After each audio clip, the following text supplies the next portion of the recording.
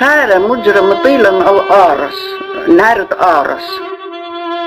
أنا إذا أنا أربسر شننوا أخوني أربع شننوا صير الخاصي بخيبة من شبن بخيبة هل كل أرخبي لبخية أني هن بيتوب مخايني به أخنا بيايخ ما تخوى التبلس اتوالا هيبي ما تخوى خا باروخته بيدا باروختا اخنا بطخوى الأرس خختا جو شقلا الدو مرزة إنا تشلي لخا قزخ جاشوك الله ترجور اللي بلشانة أرسناي أنا إيضانا جاشوكن وأولو سلوطة صالبون خخت جو شقلي أني قرداي بتهاينا عروق من مفضوتي برنجومية خخت جو شقلي إن أقزخ انديلي تبلي السويسة لايب دي أنا هالعدية ده إيه بحات دو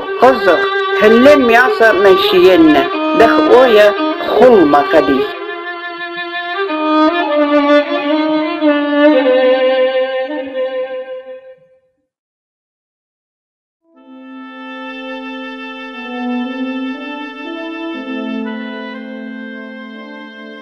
From Urmia to Russia, through Dilman, Khoy, and Julfa, move a straggling extension of 15,000 famished Assyrian refugees. The move north is spontaneous and inevitable. They seek help on the Russian side. December 22, 1914, Consul Vidensky. This is the report on the Assyrian refugees written by Vidensky, the Russian vice consul in Urmia.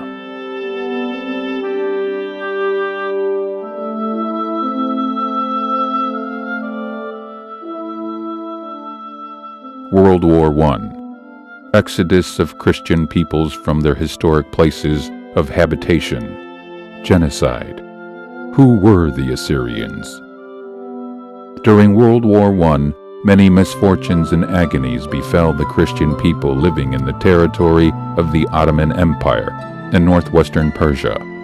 Those people were Armenians and Assyrians. After the Russian withdrawal from Persia in 1914, a huge number of Assyrian refugees arrived in Tiflis together with the Russian army.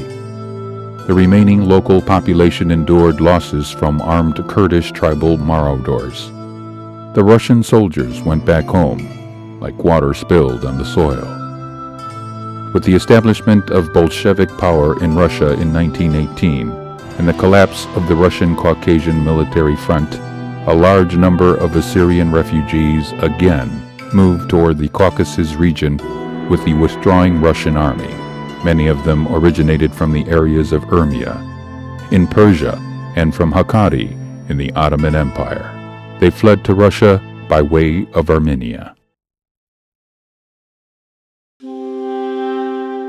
According to several sources, an estimated 40 to 60,000 refugees immigrated to Russia in this period, dispossessed of their homeland countless Assyrian survivors having endured the horrible experiences of World War I, massacres, famine, and violence scattered through Transcaucasia and the North Caucasus. A majority settled in the Russian cities of Krasnodar, Novocherkassk, Armavir, Maikop, Labinsk, and elsewhere.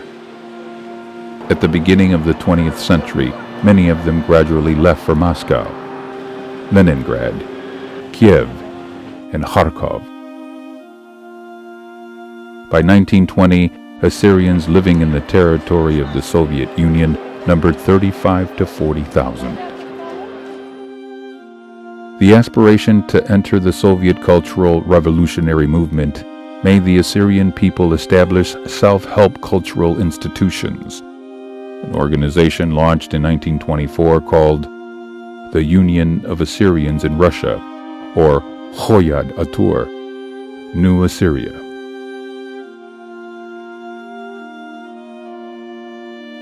It played an essential role for the preservation of Assyrian people in the Soviet Union.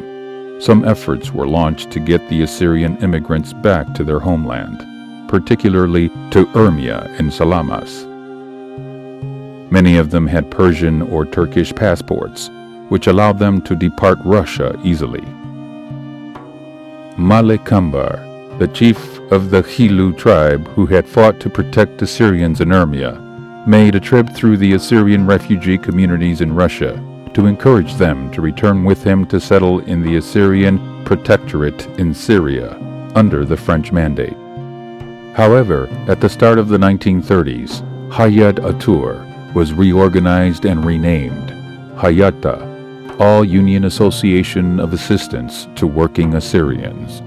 Being in operation across the Soviet Union, it opened national schools, launched training courses for teachers, and published books and textbooks in Assyrian. The organization also aimed at the promotion of compact Assyrian communities throughout Russia. Due to these efforts, the Isors received permission to live in the territory of Gelendzhik, which is on the Black Sea. A resort city now, Gelendzhik then did not provide the Assyrian settlers with the essential conditions for earning a livelihood. The agriculturist refugees found the land disappointingly barren.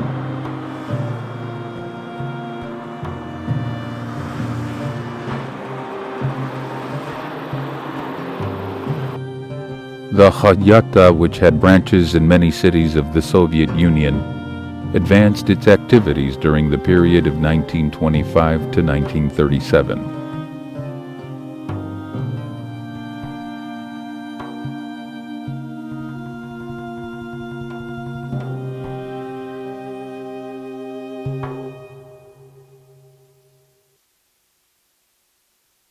И вот возникли школы, возникли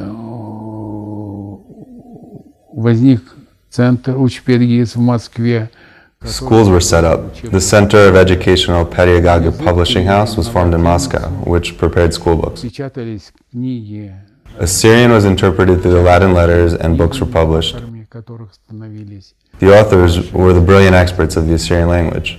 э, знатоки языка. At first, the books were written in Latin letters. Later, they were transformed into Russian with supplementations. Алфавитом. Потом э, перешли на русский алфавит. Были организованы колхозы, The collective farms, kolkhozes, were set up. посадить на The землю. Assyrians tried to get back to what they did before, which was being В farmers. прошлом земледельцами как-то оказались в своей среде. There was just one collective farm set up where Assyrians came to live. The village of Urmia in the Kurganinsk region of the Krasnodar territory was established in 1924. It was built by the refugees originally from Urmia, transplanted to Arazdayan village in Armenia along the Turkish border. During and after World War I, when there was a threat from Turkey to occupy the Transcaucasian countries, Armenia, Georgia, and Azerbaijan, the people of Urmia Arazdayan village fled to Kuban by way of Georgia. At first, they resettled in Labinsk and other neighboring Cossack villages called stanitsas and Cossack farms, known as Khutors. Когда появилась возможность, э, ассирийцы переехали э, несколько семей в станицу Константиновскую – at the first opportunity, the Assyrians came to the Cossack village of Konstantinovsk. The Cossacks provided the Assyrians with land plots near the river of Senyucha, where the village of Urmia was formed.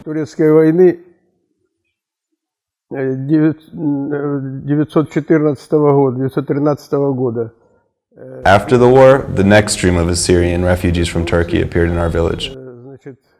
They bought houses and became neighbors with the local Assyrians living in the Terskian Cossacks farm. Э, рядом э, с проживающими здесь ассирийцами хутора э, терских казаков. Land plots near the Novo Alexeyevskaya farm were given to the Assyrian refugees who formed a khutor in that place and named it Urmia. The settlement had an estimated 50 to 70 Assyrian families who later were joined by many compatriots from Moscow and Leningrad. A primary school was set up. For the Assyrian people, this tiny area in Kuban became a piece of their homeland.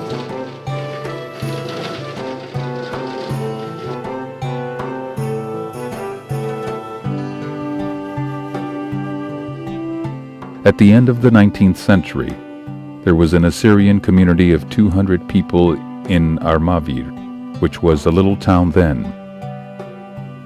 Starting from the 1880s, Persian Assyrians had come to Armavir in search of jobs. They worked as shoeblacks, porters, and unskilled laborers in brick processing plants. They were certainly also well-to-do Assyrians among them.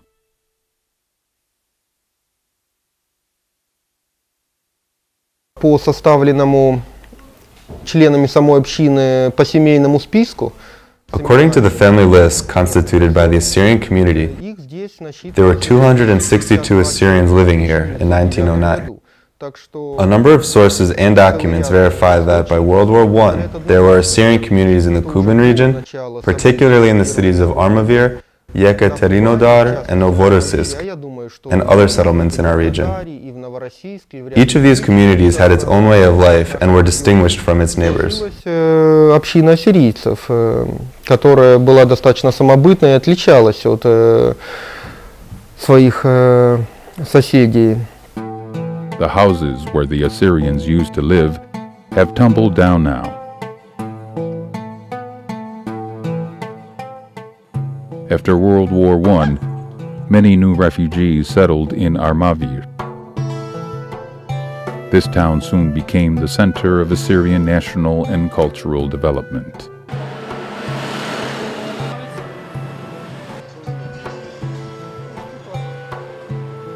In 1925, an Assyrian school under the direction of permanent schoolmaster Rabbi Ushana Bedroev was opened in this building. Due to this man's painstaking efforts, an Assyrian department was launched at the Armavir Pedagogical Technical School, where teachers were trained for national schools. A great number of Assyrians scattered across Russia, Armenia, Georgia, and Azerbaijan came here to train. As a result, a new generation of excellent intellectuals emerged in national cultural life.